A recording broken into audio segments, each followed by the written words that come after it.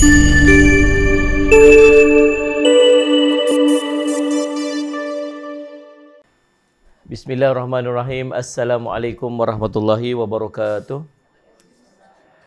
Alhamdulillahi rabbil alamin wal aqibatu lil muttaqin wa bihi nasta'in ala umuri dunya wad din asyhadu an la ilaha illallah wa asyhadu anna sayyidana Muhammadan abduhu wa rasuluhu. Allahumma salli wa sallim ala habibil karim sayyidina Mustafa sallallahu alaihi wasallam wa ala alihi wa ashabihi wa man tabi'ahum bi ihsanin ila yaumiddin.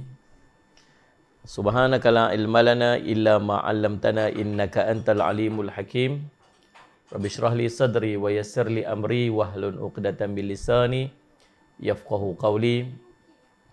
Bismillah ma syaa Allah la yasuqul khair illa Allah ma syaa Allah la yasrifu su'a illa Allah ma syaa Allah ma kana min ni'matin fa min Allahi ma syaa Allah wala haula wala quwwata illa billah al aliyil azim Bismillahilladzi la yadurru ma asmihi syai'un fil ardi wala fis sama wa huwas samiul alim Bismillahilladzi la yadurru ma asmihi syai'un fil ardi wala fis sama wa huwas samiul alim Bismillahilladzi la yadurru ma asmihi syai'un fil ardi wala fis sama wa huwas samiul alim Na'udzu bikalimatillahi tammati min syarri ma khalaq. Na'udzu bikalimatillahi tammati min syarri ma khalaq. Na'udzu bikalimatillahi tammati min syarri ma khalaq. Allahumma inna na'udzu bika minal barasi wal jununi wal judam wa min sayyi'il asqam. Wa sallallahu ala sayyidina Muhammadin wa ala alihi wa sahbihi wa baraka wa sallam. Walhamdulillahi rabbil alamin. Segala puji dan syukur kita panjatkan kepada Allah SWT dengan limpah kurnia inayah dan taufik di sisi Allah SWT kita dapat sama-sama pada uh, petang ini insyaAllah di rumah uh, kekanda yang kita kasihi uh, Puan Hajah Umi Kalthum uh, insyaAllah uh, Sadiq Semat dan juga keluarga. Dan uh, kasih pada Salih Muhammad uh, guru ketua kelas kita Kak Amy yang tak pernah-pernah lucut jawatan ya akan kekal jawatan dia sampai ke hari kiamat. Amin. Assalamualaikum uh, tuan-tuan, puan-puan, uh, datuk-datuk, atin-atin. Saya macam nak karaoke pakai mic ni. Rasa macam ah, rasa macam nak nak nak, nak, nak bos lagu. Alhamdulillah. Terima kasih banyak-banyak lah sebab sudi luang masa bersama dengan kita pada petang ni dalam uh, usrah bulanan kita insyaAllah. Salam Allah Syed Muhammad dan um, tahniah juga kepada sahabat-sahabat media kita yang mai jauh uh, daripada Kedah sana, pada Penang. Salam Allah Syed Muhammad dan uh, yang paling penting uh, roti Arab kita tadi lah. Uh, itu yang paling penting sekali. Walaupun kat Arab pun tak ada roti tu. Kalau tanya tunjuk kata ni roti Arab, dia kata fitnah saya, dia kata. Tak pasal-pasal pun nama saya. Baik, kita masih membincangkan kitab uh, Indahnya Hidup Bersyariat. Saya Allah Syed Muhammad. Kitab yang kita gunakan dalam usrah kita di sini, HKA. Salih Allah Syed Muhammad. Dan uh, kita masuk pada uh, pendidikan anak-anak. Uh, dalam bab besar dia, tajuk besar dia, pendidikan kanak-kanak. Uh, asas uh, untuk pendidikan anak-anak. Dan uh, kita masuk pada adab. Dalam bab adab, adab dengan uh, teman uh, ni rakan jiran dan tetamu. Uh, ni kita bincang tentang adab. Bagus jugalah. Time-time macam ni kita bincang tentang adab. Tadi pun bermesyuarat tadi dewan dakwah majlis dakwah negara Sayyidina Ali Muhammad. Kita kita dalam program nak buat satu kempen untuk uh, Sayyidina Muhammad menangani isu adab Orang lain dah hilang adab tuan. Manusia dah hilang adab. Kita ni orang Melayu ni sangat terkenal dengan adab. Kita daripada kecil kita diajak dengan didikan adab yang sangat detail. Ya nah, kita dulu-dulu lalu depan orang tunduk. Ha. Lalu belakang belakang orang pun tunduk juga. Ha, adab dulu-dulu ni. Saya ingat waktu saya kecil-kecil dulu tidur dengan mak. Tidur dengan mak ni, ke bantal saya tu tak berani nak lebih pada mak. Takut saya jadi anak derhaka. Macam tu. Sebab sebab jumpa orang bagi salam. Kita diajak daripada kecil-kecil dulu. Ajak adab sangat hebat. Sekarang ni orang dah hilang adab. Akhlak tak ada. Orang dah tak tahu apa sebenarnya adab tu orang tak tahu. Sebenarnya adab ni dan akhlak ni merupakan satu benda yang Allah, yang Nabi SAW sangat tekankan. Nabi SAW ni, Salih Allah Samad, dia sebut sebagai makarimul akhlak. Ha, penyempurna akhlak. Kesempurnaan akhlak. Salih Allah Samad. Nabi SAW ajak dekat kita akhlak sebab Nabi SAW sendiri pun berakhlak. Akhlak baik. Waktu Salih Allah Samad, orang yang akan beruntung nanti di Yaumul Qiyamah, timbangan berat, berat timbangan dia tu disebabkan oleh akhlak dia yang baik.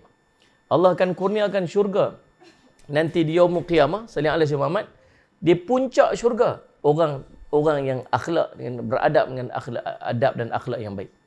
Allah penting sangat akhlak ni dan adab ni. Waktu kita kena belajar adab banyak. Kata Imam sallallahu alaihi wasallam Malik rahimahullah taala kami belajar adab dulu kemudian baru kami belajar ilmu. Adab tu penting. Dengan adab ni dia akan jadi orang yang baik. Dengan adab ni dia akan jadi orang soleh. Kita nak jadi orang yang baik. Baik tu dia kira dari segi adab. Hafal Quran 30 juzuk, tak ada adab, orang tak kata dia orang baik. Alim macam mana pun tak ada adab, orang tak panggil dia orang orang baik. Kita ni biar letak adab kat depan, akhlak kat depan walaupun cerdik tak pandai tak pandai mana pun. Orang tak ada apa. Kita tak kaya, kita tak kita tak ada apa boleh hidup tapi akhlak baik tu Allah Allah Allah akan manusia akan pandang dan Allah akan pandang. Maka kita nak belajar apa? Kita nak belajar adab. Adab. Kita dah belajar pertemuan kita yang lepas adab dengan guru. Masing-masing pun insya-Allah dah Syamad. Nah, saya ni rasa macam kita ni HKA ni bukan orang lain rasa macam adik-beradik je. Rasa macam adik-beradik, rasa macam kakak-kakak, adik-adik, uh, Salih Asyik Muhammad. Uh, ayah-ayah, mak-mak macam tu lah. Kan? Ha, Salih Asyik Muhammad. Setiap kali saya main ni, saya rasa macam saya muda je.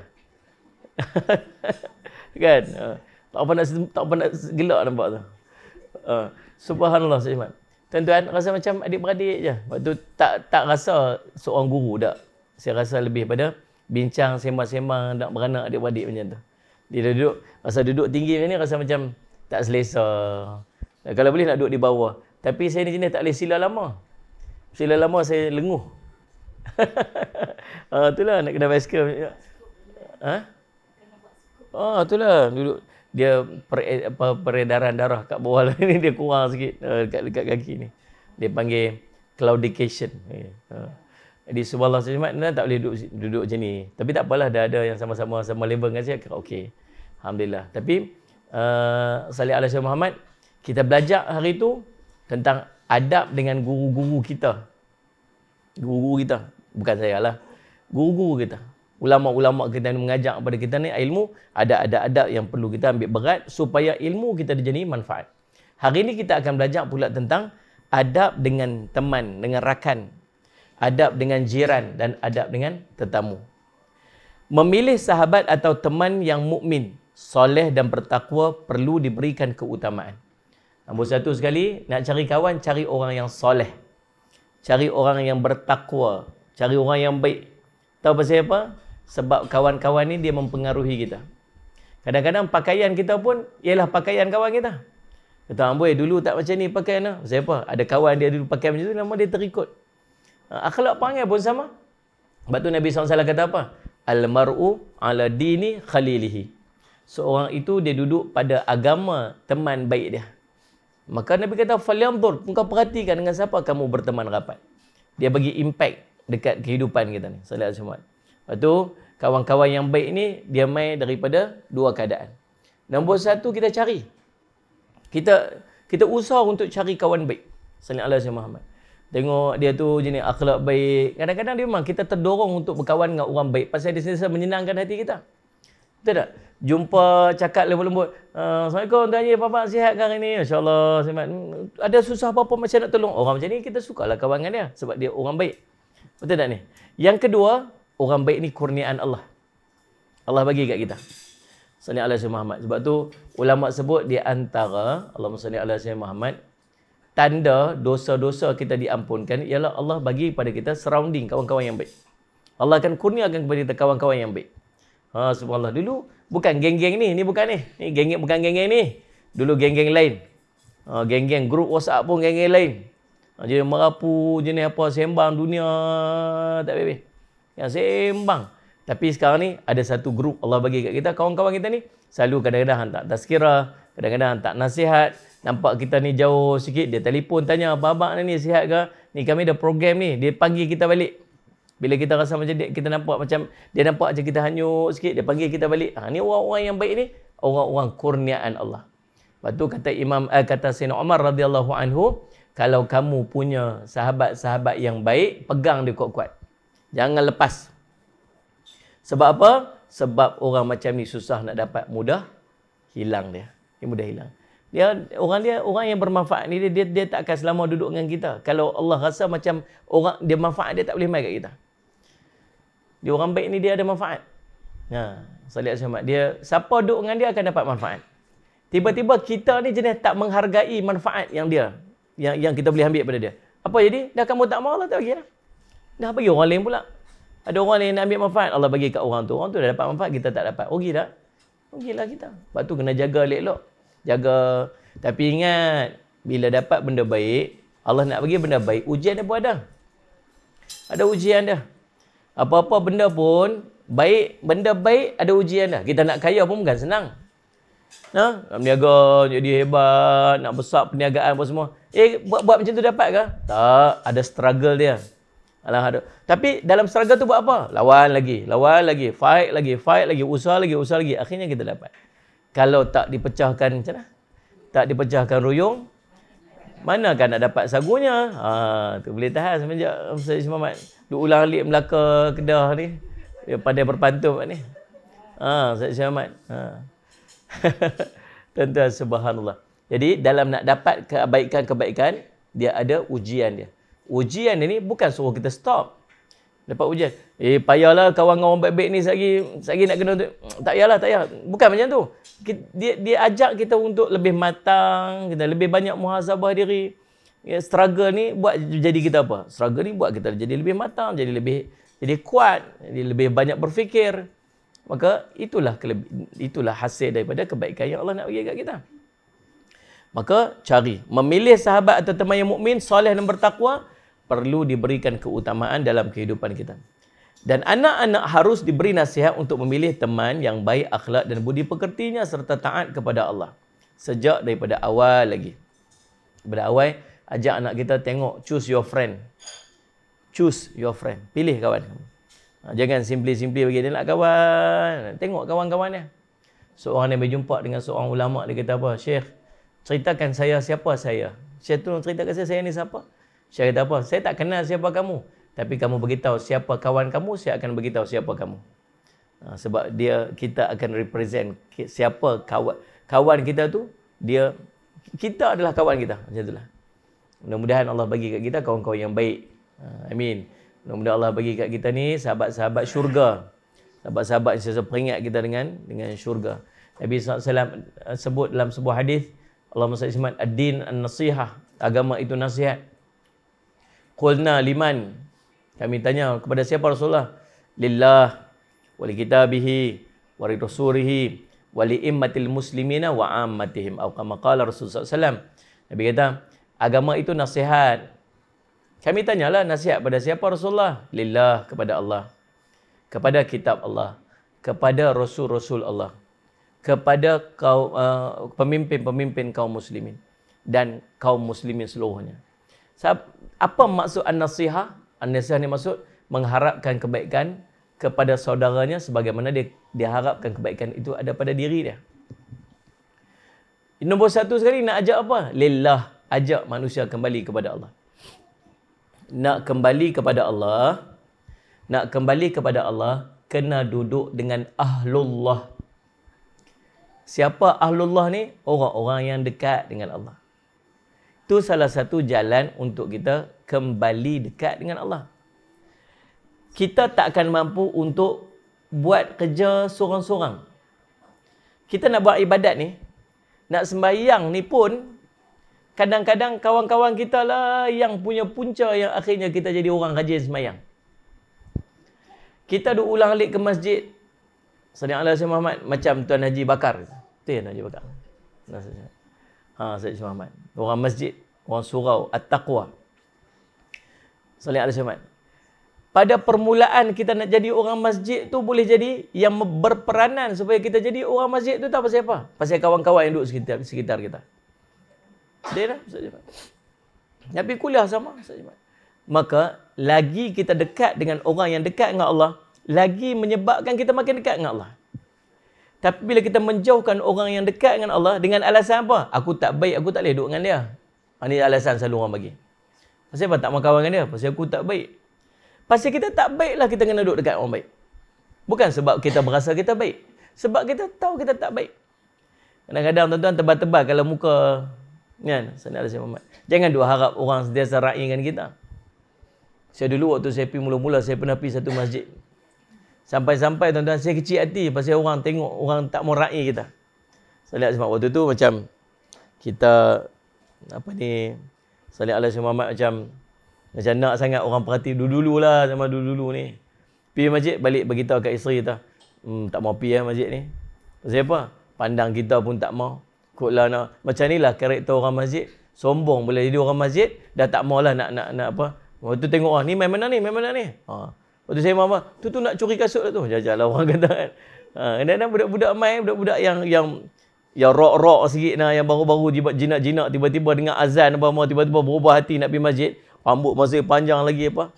Kan? Sampai pakai baju cap tengkorak lagi kan? Dia pipi nak pipi nak, nak dapat hidayah kot lah. Tahu tu terangi nak pergi masjid. Pipi nak pergi masjid orang kata apa? Ni main pasal apa ni? Ni ni awak ni awak ni. Ha tu kawan kata tu berhati-hati tengok tu kasut siapa ni hilang pula sikit ni. Ha tengok tengok tu tabur kecil hati kawan tu. Akhirnya tak main lah. Tuan-tuan tapi kita ni nak dekat daripada Allah don't jangan do expect orang sentiasa nak raih kita Jangan sentiasa aspek. Ha nak raih kan nak jemput ke tak jemput ke aku bukan nak pergi sebab nak jumpa dia. Kita nak pergi sebab nak dekat diri kita kepada Allah. Pergilah. Kadang-kadang dengan kawan-kawan baik pun macam tu. Jangan tunggu dia lah. Mailah, mailah. Bukan semua orang panggil kita macam tu. Tapi kita ni ada effort untuk pergi dekat dia. Salam alaihi Muhammad. Uh, apa ni Assalamualaikum, Salam. Eh, petang ni free tak? Saya apa? Jomlah kita pergi minum-minum. Eh, minta maaf lah saya ni sibuk sikit. Tak, tak sempat petang ni ada, ada program apa. Tapi paling tidak effort kita nak ajak dia minum. Bukan, bukan nak harap dia boleh pergi minum dengan kita. Tapi nak nak bagi dia kenal kita. Nak bagi dia tahu kata kita nak dekat diri dengan dia. Boleh faham maksud saya tu? Ha, jangan, jangan, jangan duduk tunggu dia je duduk jemput kita, panggil kita. Duduk kat luar rumah. Eh, tapi tapi masjid lagi. Orang tak main panggil aku pun pergi masjid. Oh, macam tu. Kan? Saat semat ni ada orang macam guru kita lah. Ada kadang poster tu keluar kan. Bila poster tu keluar apa semua. Dia kata, tak panggil saya pun. Nampak tak poster tu? Nampak. Lepas tu pasal apa tak pi? Tak panggil saya pun. Tu dalam geruk tu hantar tu. Yalah, personal lah mesej satu hantar mai. Tak payahlah sampai macam tu. Betul tak ni? Tak payahlah tunggu sampai orang jemput macam tu. Kalau ada orang orang ada masa nak jemput, orang jemput lah. Tapi kadang-kadang orang miss out. Jangan duk tunggu sampai macam tu baru kita nak pi. Sebab dalam kita nak dekat daripada Allah kena ada effort. Kita kena ada effort kita. Ha. Okay. Salam Allah Muhammad. Nabi SAW pernah bersabda yang diriwayatkan oleh Ibnu Asakir rahimahullah ta'ala yang bermaksud jauhilah olehmu teman yang buruk akhlaknya sebab engkau akan dikenali dengan dia. Kita akan dikenali dengan dia. Maksud dia macam mana? Kita duduk kawan dengan dia. Kalau dia buat benda tak elok, yang terpalit sekali dengan siapa? Kita lah. Lepas tu duk pesan kat anak-anak kita ni. Anak-anak kita ni jangan duk buat panggil tak elok sangat. Sagi orang akan kata, tu anak siapa tu? Yang terpalit siapa? Ayah dia. Yang terpalit sekali, mak dia. Salih Muhammad. Sama tuan-tuan. Tuan-tuan duduk dengan kawan-kawan yang tak elok. Yang akan terpalit sekali, kita. Orang yang duduk berkawan dengan min, tukang jual minyak wangi. Paling tidak tempiah-tempiah minyak wangi itu kenal juga dengan kita. Orang, Nabi SAW buat gambaran ni. Orang yang berkawan dengan tukang besi. Cebisan-cebisan api besi itu akan kenal dengan dia. Pasal apa? Tu kawan dia. Tuan-tuan nak influence yang baik, nak kesan yang baik, nak main benda kita dengan baik, benda baik, cari kawan baik. Cari. Ni elok-elok dah ni ni elok-elok dah duduk depan-depan kita ni. InsyaAllah. Amin. Amin. Mudah-mudahan. Ha, saya simak. Kita baik ke? Saya tanya ni. Baik ke kita ni? Tak, kita tak baik. Itu pasal apa kawan dengan orang baik? Nak jadi baik. Kita nak jadi baik. Ha, jadi baik. Saya Muhammad. Bukan sebab kita baik.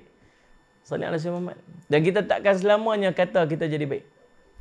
Orang yang tak baik ni, salih ala Muhammad. Kata Sayyidina Aisyah radhiyallahu anha, seorang itu dia tidak baik bila bila dia mula berasa diri dia jadi baik. Ha, dia tak baik tu bila dia rasa dia baik lah. Aku ni okey dah alhamdulillah. Ha, InsyaAllah dah ni. Duk rasa-rasa macam ahli syurga Firdaus lah pasal ni ni. Alhamdulillah. Alhamdulillah Ustaz, dosa tak ada lah ni. Tak buat dosa langsung lah sekarang ni. Amboi, hebat. Allah dan dia berasa macam tu pasal apa? Itu menunjukkan yang dia sudah mula lari daripada kebenaran. Tak baik. Baik Allah salli Yang berikutnya hak dengan jiran. Kata Nabi sallallahu alaihi wasallam, Allahumma salli ala sayyidina Muhammad, "Man kana yu'minu billahi wal yawmil akhir falyukrim jarah." Siapa yang beriman kepada Allah dan hari akhirat, hendaklah dia Salih Allah Syamad memuliakan jiran-jirannya. Kita ni, ya Allah, hidup kita ni bukan seorang-seorang tu Haji. Ya tu? Kita ada jiran. Ha. Kata Syekh Salih Allah Syamad Muhammad, hmm, Allah Salih Syamad Muhammad, uh, Salih Allah Syamad Muhammad, kitab penawar bagi hati tu, Syekh Abdul Qadir Mandili dia sebut. Kata, kalau rasa Allahumma salli ala sayyidina Muhammad tak mau nak bercakap dengan siapa-siapa. Tak mau tak tak rasa piduk lautan kena piduk lautan baru tak berjumpa dengan orang. Tapi selagi kita duduk dekat dekat dunia ni selagi itu akan berjumpa dengan orang dan bila kita berjumpa dengan orang ni ada adab dan akhlak yang kita kena buat tak upaya nak buat macam mana nak buat macam mana Sallallahu alaihi Muhammad Kata Nabi sallallahu alaihi wasallam, Allahumma salli ala sayyidina Muhammad, "Innallaha katabal ihsanu ala kulli syai." Sungguhnya Allah mewajibkan ihsan atas setiap perkara. Dan setiap benda yang ada depan mata kita wajib ada ihsan. Ihsan ni macam mana? Ihsan ni kita rasa benda tu kena ada kat kita, benda tu kena ada kat kawan kita. Kita nak orang senyum kat kita, kita senyum kat orang. Kita nak orang buat baik kita, kita buat baik kat orang. Kita tak mau orang maki hamun kita, kita jangan maki hamun orang. Kita tak mau orang jerit-jerit tengking kita, kita jangan jerit-jerit tengking kat orang. Macam tu je. Simple macam tu je. Kalau tuan-tuan tak mau orang buat kat tuan-tuan, tuan-tuan jangan buat kat orang. Macam tu je ihsan ni. Senang je tuan-tuan. Tapi pasal apa kita jerit-jerit kat orang lagi? Pasal apa kita maki hamun orang lagi? Pasal apa kita fitnah orang, umpat orang, buka aib orang? Pasal apa? Sebab kita tak ada sifat ihsan. Dan ihsan ni tuan-tuan kena jaga sampai tuan-tuan mati. Saya selalu sebut tu Haji, Datuk, tuan-tuan. Kita ni tak rugi jadi orang baik. Sikit pun tak rugi orang baik. Ha? Jumpa orang senyum, macam jangkak senyum. Kan? Jumpa orang senyum. Jangan, jangan jumpa orang senyum. Jangan senyum seorang. Seorang-seorang. Seorang-seorang senyum, tu lain lah tu. Jumpa orang senyum. senyum cukuplah kata Nabi SAW sedekah tu ialah kamu berjumpa saudara kamu dengan dengan wajah yang ceria, wajah yang manis. Ya, Salih Asyaman. Jumpa orang muka macam tu. Hidung, moncong lagi tinggi pada hidung. Ya. Orang mesti dalam hati kata apa? Ni pasal apa dia ni? Apa masalah dengan aku pula? Dia menyebabkan orang tu dia gelisah pula dengan dia. Apa pasal dia ni? Aku buat apa kat dia pula ni? Jumpa orang, senyum. Kenal, tak kenal? Kan, Ustaz Ismail? Ha, salih alaihi wasallam. Pasal apa? Pasal muliakan orang. Sebab kita harap orang Tuan-tuan, orang susah tolong. Setakat yang kita mampu. Paling tidak tak boleh tolong dengan duit, tolong dengan nasihat. Salih alaihi Muhammad. Orang yang dalam kesusahan, bantu dia. Orang dalam kesempitan, tolong dia. Salih Allah Syahmat. Orang yang sedang gelisah, tenangkan dia. Maksud kita kena sentiasa aktif. Tuan-tuan, orang yang berkat hidupnya ni, dia orang yang bagi manfaat pada orang lain. Dia duduk tang mana tu, kat mana pun dia duduk, orang sekeliling dia ambil manfaat pada dia. Ya. Jangan kita pula jadi penyebab orang buat maksiat. Tak boleh tu. Tengok kadang kita duduk dalam grup WhatsApp kan. Kita duduk grup WhatsApp. Kita duduk diam kat dalam tu. Geng-geng dalam tu duduk merapu. Ada seorang duduk kaki merapu kat dalam tu. Duduk share bukan-bukan. Ada seorang komen. Dia kata apa? hang hati-hati sikit kat dalam ni ada ustazah jadian. Dia kata kat kita tu dia perli kita. Kata ustazah jadian dia bagi kita. Pasal kita duk hantar tazkirah apa? Dah. Hantar soalan duk hantar apa-apa sikit ni dalam ni ada ustazah jadian ni. Kau tu oh minta maaf minta maaf sorry sorry. Tuan-tuan, biarlah dia nak panggil kita ustazah jadian ke, ustazah mi segera ke, ustazah roti Arab ke. Ikut suka lah dia panggil apa. Yang penting dengan kita ada kat situ, orang tak buat benda, benda tak elok. Maksud kita ini manfaat tak? Dah kita ini manfaat. Kita ini manfaat dah tu. Tapi kalau kita ada tu lagi merapu. Ha tu tak kenal lah. Kata kita masuk-masuk. Assalamualaikum. Ah game merapu masuk dah. Bro pegat merapu. Rupanya kita lagi merapu tu. Oh, tak mau. Tuan-tuan, kalau mampu untuk nasihat, nasihat. Tapi paling tidak keberadaan kita tu dah menjadi manfaat. Kita nak kena set hidup kita jadi macam tu. Siapa pun duduk seli kita ni, boleh mengambil manfaat daripada kita. Tuan-tuan, salli ala Muhammad. Jadi, subhanallah, kita hidup kena ada peranan maksudnya, ada peranan. Yang pertama hak kita dengan jiran kita ni. Bila ada jiran kita kat sebelah ni, hak kita dengan jiran ni, yang pertama dia bagi salam bila berjumpa. Jumpa bagi salam. Masa bila nak pi nak pi masjid, nak pi surau tu, tengok jiran kita kat depan rumah. Waalaikumsalam Haji. Waalaikumsalam. Jom pi surau. Kata pi lah. Jom pi. Tak apa-apa, pilu, pilu, pilu. Dia kata, itulah jawapan dia daripada 30 tahun dulu. Asal lalu aja, jom pergi sorak. Tak apa, pilu, pilu. Esok lalu, jom pergi sorak. Tak apa, tak apa, pilu, pilu, pilu. Lusa kita, jom pergi sorak. Dia nampak kita keluar aja, dia lari masuk sembunyi. Ya. Biar pilih tuan-tuan, kita memberi manfaat. Paling tidak, nanti ke akhirat, kalau dia pergi depan Allah, dia kata apa? Ya Allah, sebelah rumah saya ni, AJK, surau At-Taqwa. Tiap-tiap hari pergi surau, tak pernah ajak saya sekali pun, Ya Allah. Ni kata kat kita pula. Kita kata apa? Ajak dah. Tiap-tiap hari pun duk ajak. Dia duk kata pi dulu, pi dulu. Tengok-tengok sungguh makbul doa dia, dia pi dulu. Matilah tu maksud dia. Dia pilu pilu dia qalu sungguh. Tuan-tuan subhanallah. Salih ala syamat. Tuan-tuan, manfaat bagi salam. Jumpa orang bagi salam. Tahu tak? Dia antara orang yang paling paling patut kita bagi salam dalam kehidupan kita tahu siapa? Ahli keluarga kita dulu. Ahli keluarga kita. Kata Anas bin Malik radhiyallahu anhu Nabi SAW pesan dekat dia, ha? berikan salam. Sampai ucaplah salam kepada keluargamu. Maksudnya kamu akan diberkati, keluarga kamu akan diberkati. Kita balik rumah, mana ada bagi salam? Nampak anak kita duduk kat depan. Tengok duduk, dia dah duduk start motor nak keluar apa semua. Hai, Nabi mana tu? Ha, bagilah salam tu. Sampai-sampai tengok dia. Assalamualaikum. Dia rebah motor. Terus tumbang motor dia. Dia kata, ayah aku bagi salam nak mati dah apa. Telefon dia beradik lepak balik cepat-cepat Tiba-tiba mak bagi salam ni dia kata tak pernah-pernah duk buat ni. Tapi itulah sebab kita nak berkat kat kita, nak berkat dekat ahli keluarga kita. Nah, jumpa bagi salam.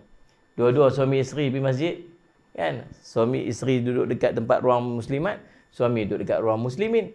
Habis-habis mayang, balik. Isteri keluar dulu, duduk tunggu dekat depan. Eh bukan, suami keluar dulu. Isteri sembang lagi.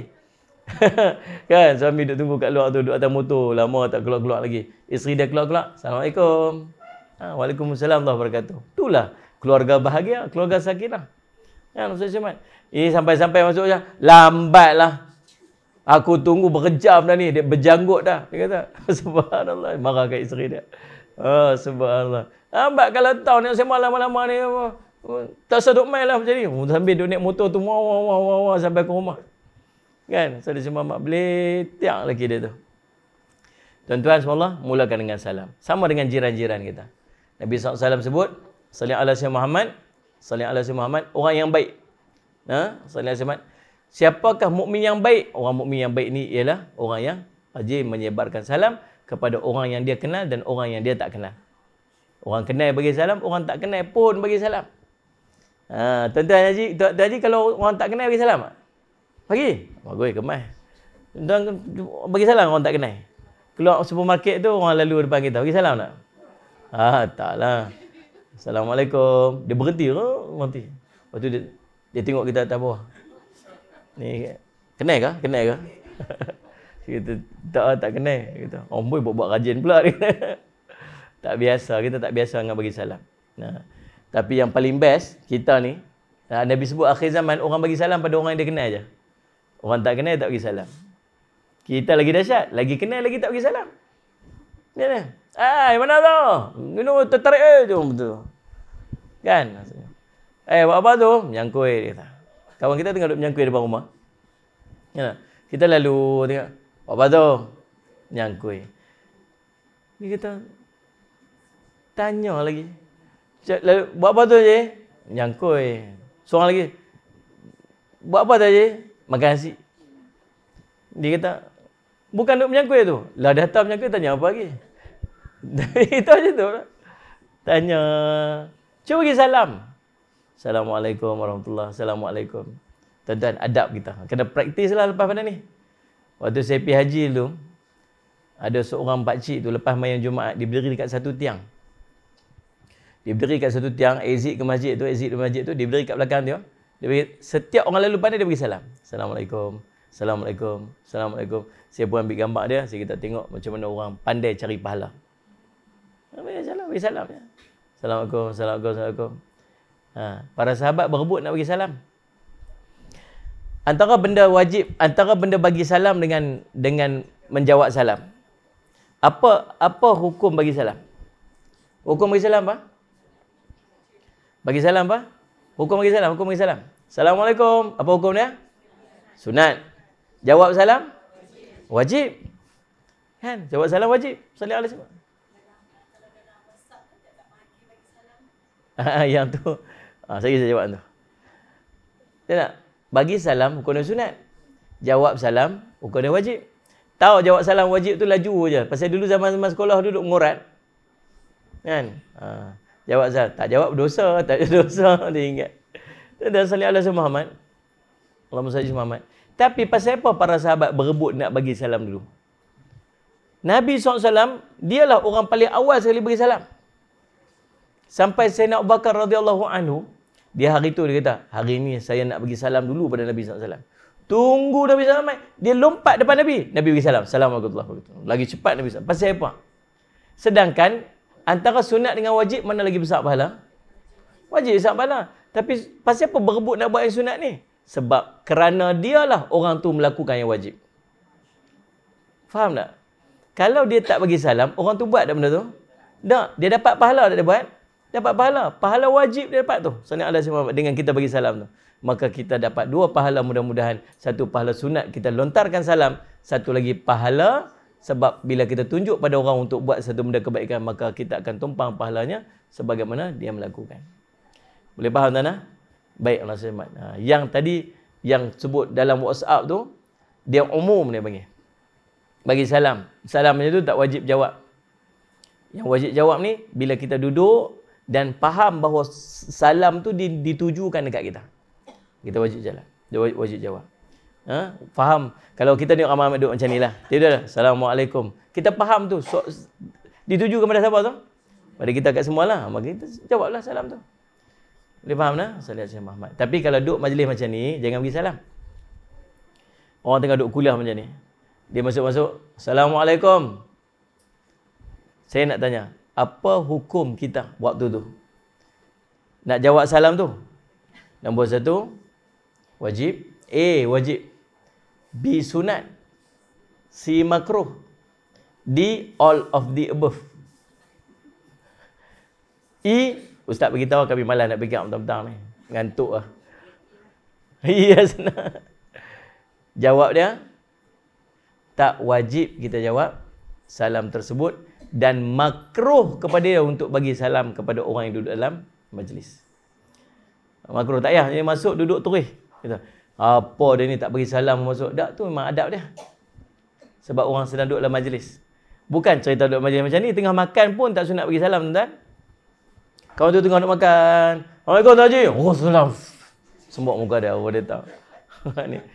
dia dia tu makruh bagi salam dan kita tak wajib jawab salam. Tak berdosa pun. Sebab orang kata, wajib jawab salam. Tak, tak wajib. Pasal apa? Pasal orang tengah makan. Orang tunggu dengar majlis. Orang tengah ambil wuduk. Tak sunat bagi salam. Makruh bagi salam waktu tu. Boleh faham? Baik. Yang kedua, hak berjiran. Hak berjiran memenuhi undangannya ketika dijemput. Ha, bila dijemput kita ni, kita kita boleh jadi wajib, boleh disunat. wajib memenuhi undangan bila panggilan itu wali matul urus. Uh, kenuri kahwin. Uh, dia dia harap kita mai. Kita pula puasa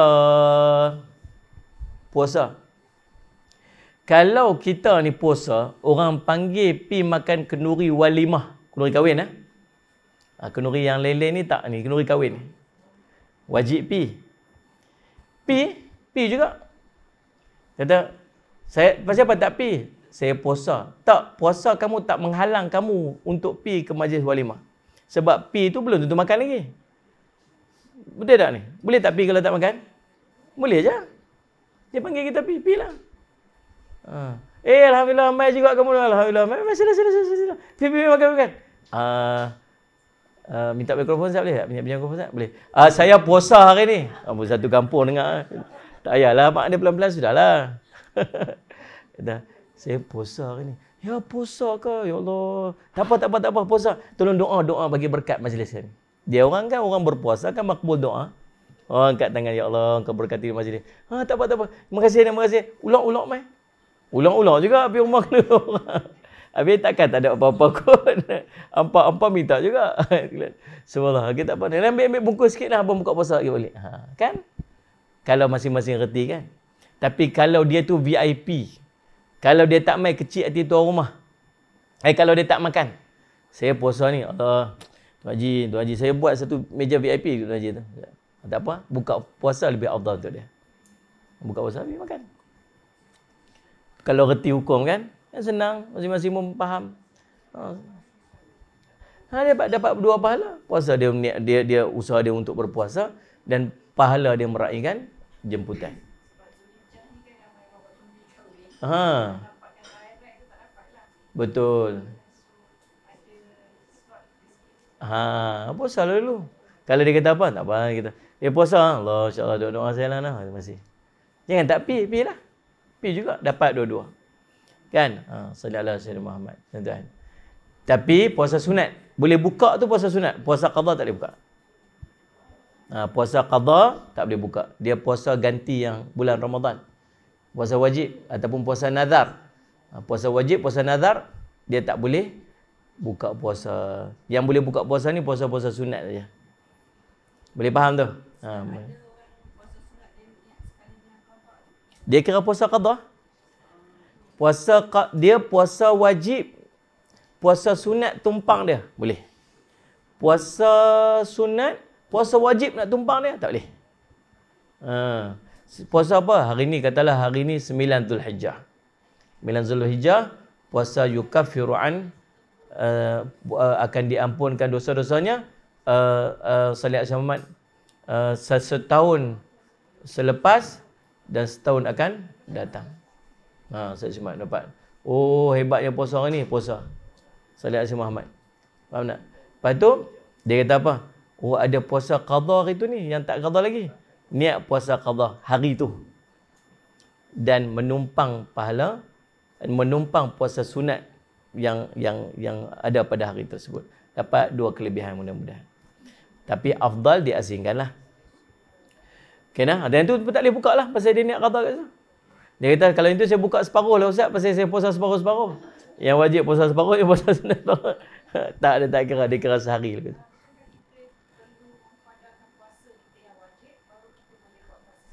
Ha ni dengar ni Lela. Selepas daripada kita bulan Ramadan, kita ada puasa katalah tujuh hari kita tinggal. Ya, puasa tujuh hari, kita puasa, kita tinggal puasa pasal kita haid. Lalu subhanallah, habis-habis Ramadan, habis-habis Ramadan kita puasa, kita tak boleh tak tak tak, tak boleh puasa sehari. Hari raya tu tak boleh puasa. Haram puasa hari tu. Hari berikutnya, kita dah start boleh puasa dah. Dalam bulan Syawal ada enam hari puasa yang disunatkan dekat kita. Kita panggil puasa enam hari dalam bulan Syawal. Salih alaihi wasallam. Itu pahala pahala dia seperti kamu berpuasa setahun penuh. Puasa pahala dia. Uh, jadi subhanallah, macam mana nak buat? Boleh buat dalam tiga bentuk dan tiga keadaan. Ingat kita nak gabung di antara puasa sunat dengan puasa uh, nak nak buat yang mana satu ni? Puasa sunat ke puasa wajib ni? Nombor satu yang paling afdal. Paling afdal sekali. puasa qada dulu 6 hari. Lepas tu puasa 6. Maksudnya dia puasa berapa hari dalam bulan tu? 13 hari. Kan tadi puasa 7 hari kan? Umur dah terlupa dah sehari apa. 6 hari, eh 7 hari dia qada dulu, 7 hari. Kemudian habis 7 hari tu baru dia sambung pula dengan 6 hari. Ini yang paling afdal. Sebab mendahului, mendahulukan yang wajib, kemudian baru dia buat yang sunat. Faham? Sama. Yang kedua, dia puasa 6 dulu. Kemudian baru dia puasa wajib. Pasal apa? Pasal puasa 6 dia terikat dengan bulan Syawal puasa qada dia boleh pi sampai hujung nak masuk Ramadan akan datang. Ha, demikian dalam satu keadaan Sayyidina Aisyah radhiyallahu anha pernah buat macam tu. Bukan sebab Sayyidina Aisyah balok lihat macam kita. Dah sebab nak tunjuk kata bolehnya buat macam tu. Ha, dia ada ada dekat-dekat nak masuk Ramadan Sayyidina Aisyah meng, mengqada puasa-puasa yang telah ditinggalkan. Kita oh Sayyidina Aisyah pun puasa qada lambat juga dak nak bagi tahu hukum tu dekat kita. Nah, faham tu Ustaz Syumat? Dua. Yang ketiga, digabungkan keduanya. Dalam bulan puasa dalam bulan, Syawal tu dia puasa dia puasa qada dan dia tumpang puasa sunat dalam puasa qada dia tu. So tujuh hari dia qada, enam hari dapat puasa enam tu. Yang hari ketujuh tu Mungkin hari ketujuh tu bertembung pula dengan hari Isnin ataupun hari Khamis. Dapat pula pahala puasa pada hari Isnin ataupun hari Khamis. Clear? Boleh? Ha, InsyaAllah. Ha. Cerita dia buat je. Ha, kalau orang puasa, ada puasa qadha tapi dia tak buat puasa enam macam-macam. Eh, rugilah no. Ha. Orang lelaki-lelaki tak boleh harap buat puasa ni. Tak boleh harap. Kelingan saya sekali lah. Apa. Eh, kita dulu-dulu kalau puasa enam ni dia tak akan mai eh, eh apa-apa kenuri dia tak akan mai selagi puasa enam tak habis. Orang kampung dulu kan. Oh dia start raya kedua tu semua satu kampung semua puasa ni. Dah macam bulan Ramadan. Masuk hari ke-6 tu buat ketupat. Oh, pekat-pekat ni. Pasal apa? Raya puasa enam. Ha, tu biasa dulu. Ya, sekarang ni raya kedua dah rumah tu buka dah. Raya kedua rumah tu buka. Raya ketiga sekolah tu buka. Raya keempat apa ni Salih Syamat uh, uh, pejabat terbuka. Ayat ke, ke, kelima apa-apa terbuka lagi. Mai hari ni butang terbuka. Lepas tu tali pinggang pun terbuka. kan terbuka. Jadi lepas tu duk gaduh lah berat 7 kilo naik lah. Uh, saya raya ni tuan-tuan 5 kilo tambah balik ni. Nak kena buat sesuatu untuk kuruskan badan balik. Aduh subhanallah. Ha. Raya ni raya puasa ni dia punya sambutan raya dia sampai masuk Zulhijjah ni. Raya lagi. Aduh. Ada excited nah ha, tu. Tapi itulah kena praktis. Yang ketiga. Yang kedua memenuhi undangannya ketika dijemput dah. Ha, termasuk juga undangan-undangan yang lain kalau dia ada masalah apa-apa dekat rumah dia ke ada apa. Ha, jemputlah ni kita ada buat majlis apa gotong royong apa semua kat rumah pilah. Pilah jangan duduk sombong sangat kita. Kan?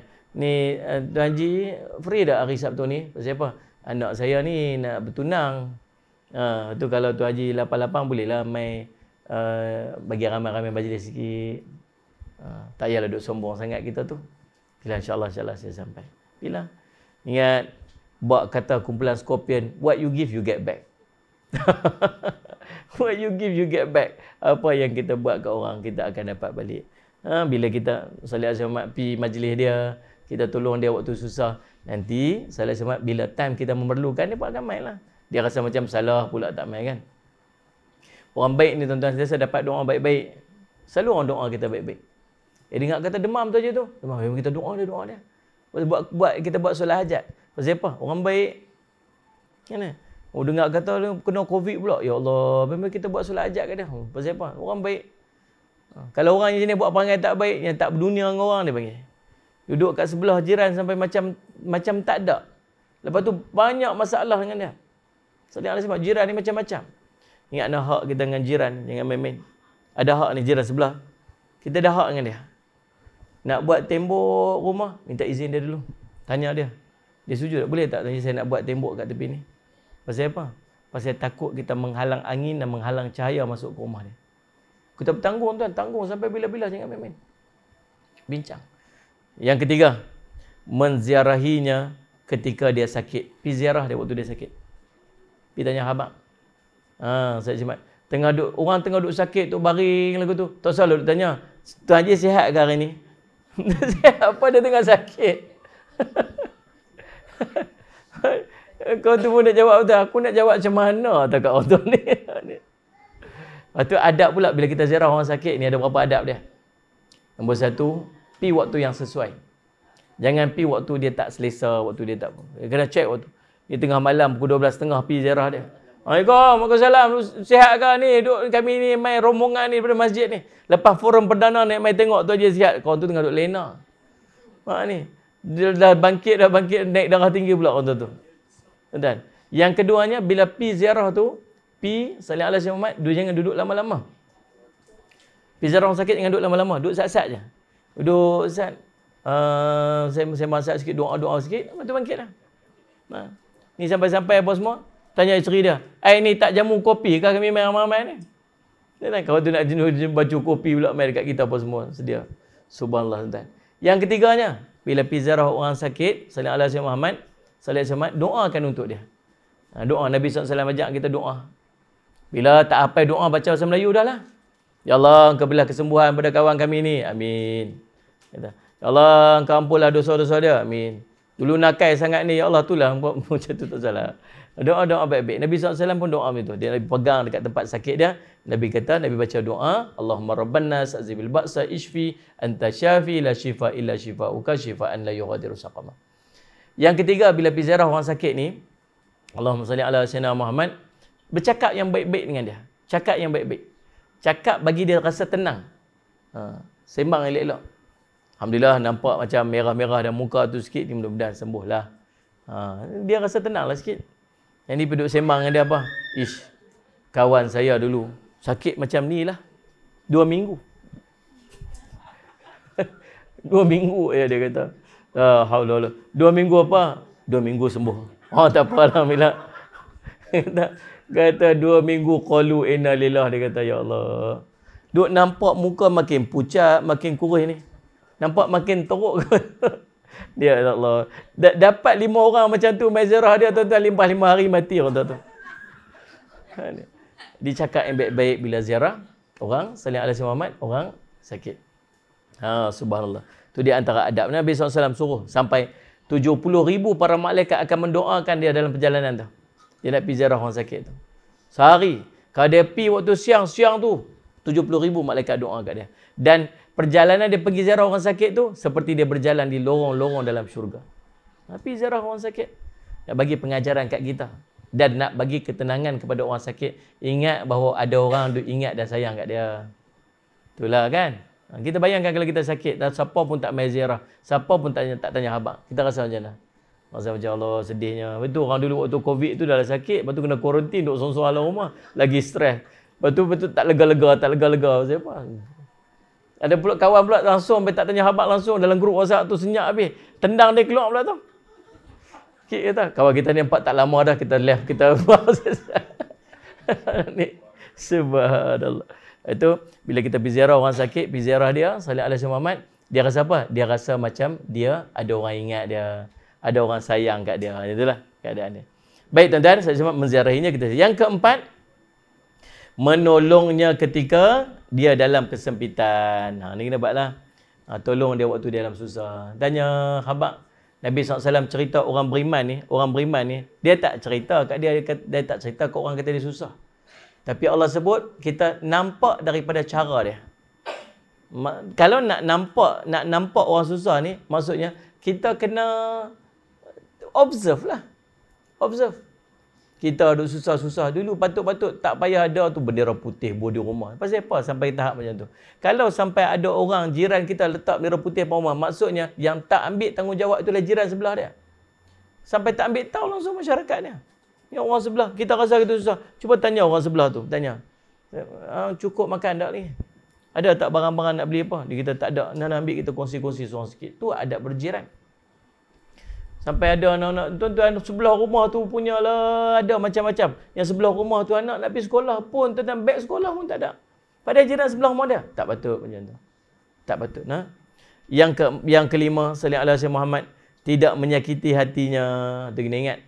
Itu saya sebut dalam kitab Al-Wafi karangan Syekh Abdul uh, Syekh Dr. Mustafa Bora dalam kitabnya Al-Wafi syarah 40 hadis Imam Nawawi rahimahullah yang mensyarahkan hadis uh, man kana yu'minu billahi wal yawmil akhir falyukim jarah ni siapa yang beriman pada Allah dan hari akhirat hendaklah dia memuliakan jiran dia ni disebut sallallahu alaihi wasallam jangan kita buat sesuatu yang perbuatan kita itu menyakiti hati jiran kita ni sama ada sakit ke hati dia sakitkan fizikal dia Tuan-tuan nak letak apa-apa di rumah kita yang nak menumpang, nak menopang di rumah dia, tuan-tuan kena minta izin kat dia. Kadang-kadang kalau macam orang-orang dekat kampung-kampung tu kan dia nak buat rumah, dia nak buat letak bumbung, dia ada dinding, dinding kawan sebelah rumah tu, dia tumpang je kayu-kayu tu kat sebelah rumah. Dia tak boleh buat melainkan dengan izin. Sebab tu hak dia. Bahkan meletakkan sesuatu yang busuk di rumah kita yang mengganggu jiran sebelah, haram hukum dia. Kita satu benda busuk. Ada kadang-kadang kita belah kucing, dia belah kucing. Ha, dia maksud dia lah yang buat perangai tak elok tu bukan kita.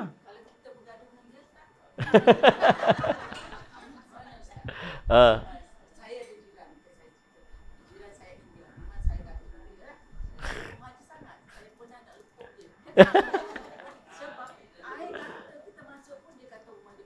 Aduh. Ha.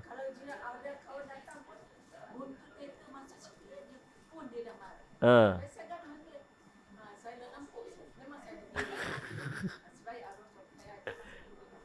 Ada. ah tu. Bagus soalan tu. Sekejap saya jawab lah. Takut pula saya nak jawab tu. Sekejap saya pula kena lepuk. Dah lah suami dia tak ada lah ni. Jadi subhanallah. Dan, ah, Hmm. Ya. Yeah.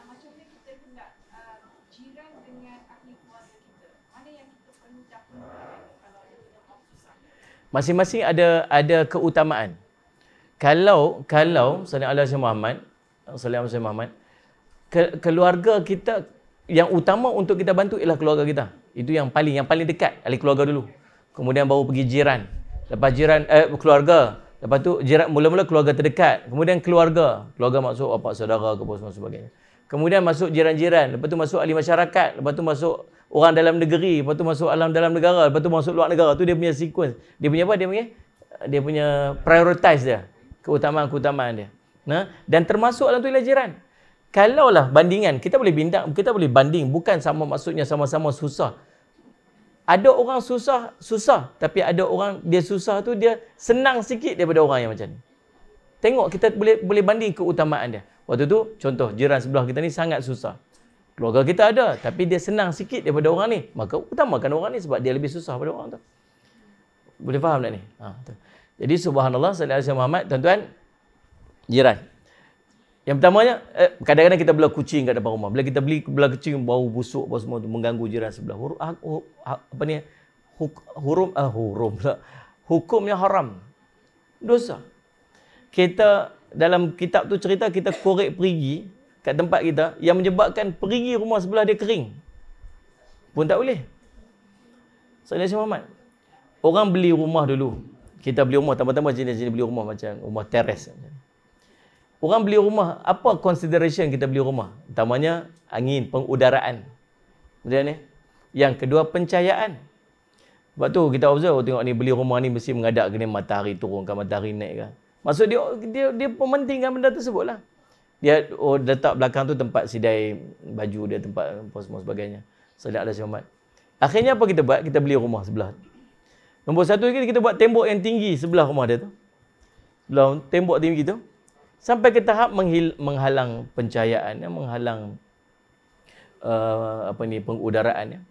berdosa tuan-tuan tak boleh kita kena pergi bincang dulu boleh tak saya nak buat tembok macam ni lepas tu dia kata apa uh, elok juga buat tembok tu jadi saya tak payah buat tembok dah. Dia guna tembok kita tu kita jadi tembok rumah dia sekali. Oh okey lah. Maksud enough lah kita sama-sama ada mutual understanding kat situ.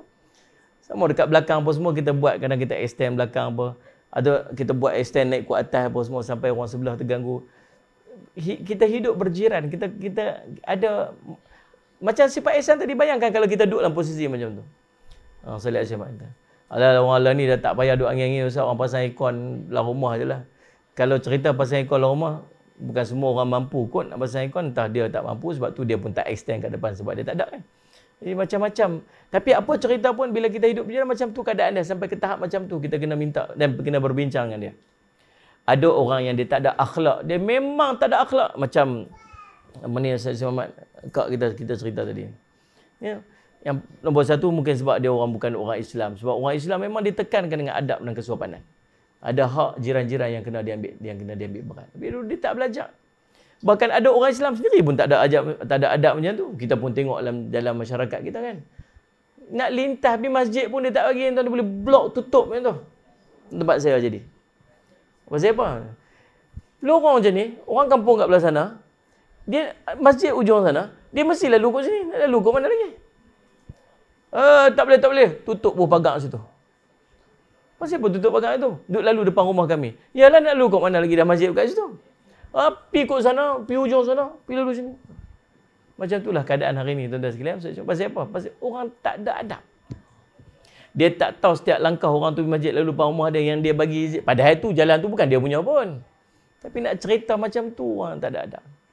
Tapi subhanallah kalau orang buat sebab tu tuan-tuan kita punya hak untuk sebab kita apa? Waktu nak pindah pergi satu tempat, apa yang ulama suruh?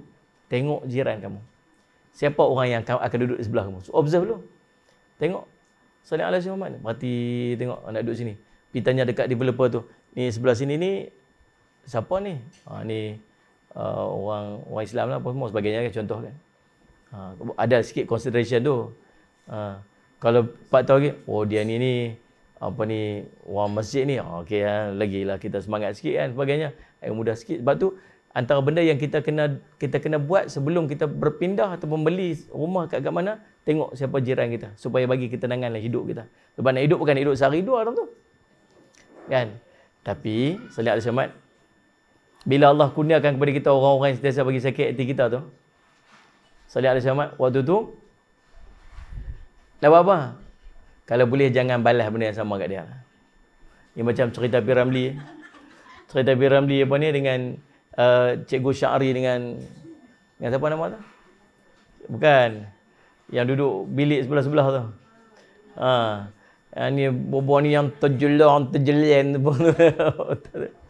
kau ni balas tu, kau ni kau ni balas tu. Selihat so, Syamat. End up kita sama aja macam dia. Betul kan? End up kita sama aja dengan dia. Jadi Allah Syahmat. Doa-doa lah bagi dia pindah rumah tu. dia ya Allah pindah, ya Allah bagi dia pindah cepat sikit. Ya Allah pindah sikit. Ada orang tuan-tuan sekalian, dia doa bagi orang mati.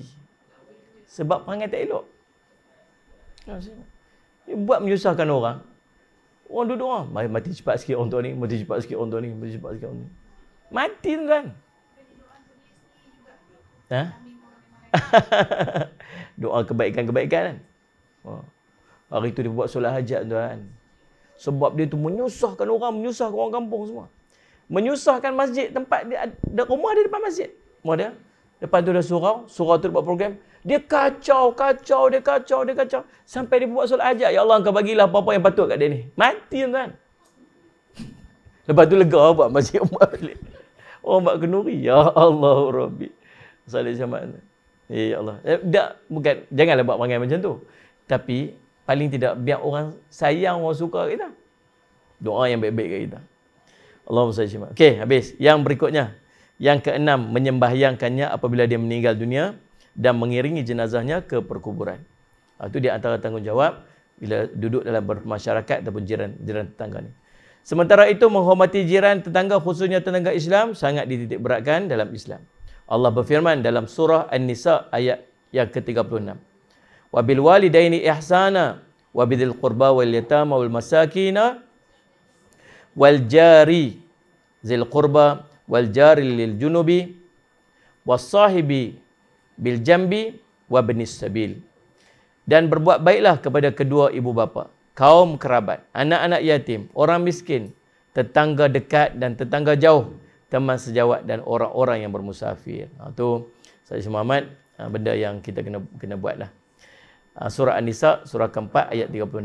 Insya-Allah pertemuan kita akan datang kita akan sambung lagi dalam bab adab terhadap tertamu ataupun orang yang bermusafir insya-Allah. Mudah-mudahan jadi manfaat. Saya minta ampun, minta maaf salah silap. Ada apa-apa soalan tak? Silakan kalau ada.